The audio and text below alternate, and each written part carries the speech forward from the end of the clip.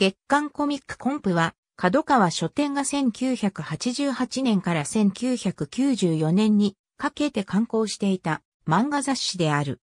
当初はコンプティーク別冊、コミックコンプティークという氏名で、その名の通り、もともとは同社のコンピュータゲーム専門情報誌、コンプティークの別冊として創刊された。単行本は、コンプコミックス、ドラゴンコミックス、ニュータイプ100%コミックス。月刊少年キャプテンなどと同様に、マニア向け漫画雑誌の先駆けと言われている。当初は、ファンタジー漫画が多く掲載された。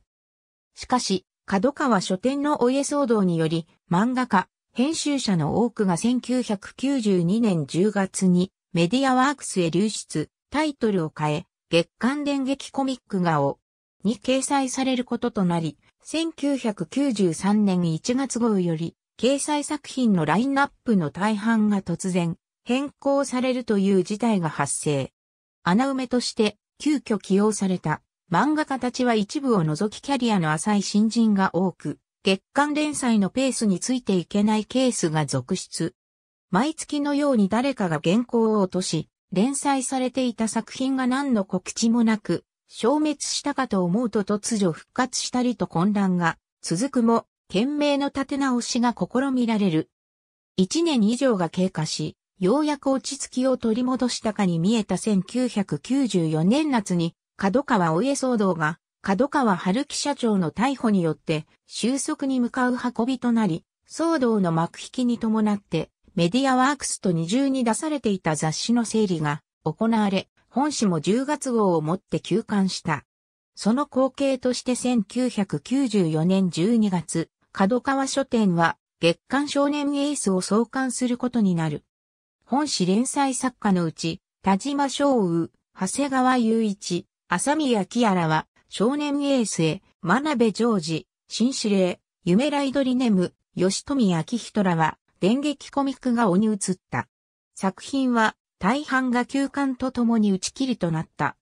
ただし例外として、長谷川雄一の大騒動は、轟清県大、騒動と解題して、月刊少年キャプテンへ、落ち義彦のイグドラシルは、風の惑星ゼファーと解題して、月刊少年キャプテン増刊、コミック鉄人へ、飯田春子のパナエンサの冒険は、アスカファンタジーデラックスへと移った。休刊から8年近く経った2002年、コンプティークの別冊付録としてコミックコンプが登場。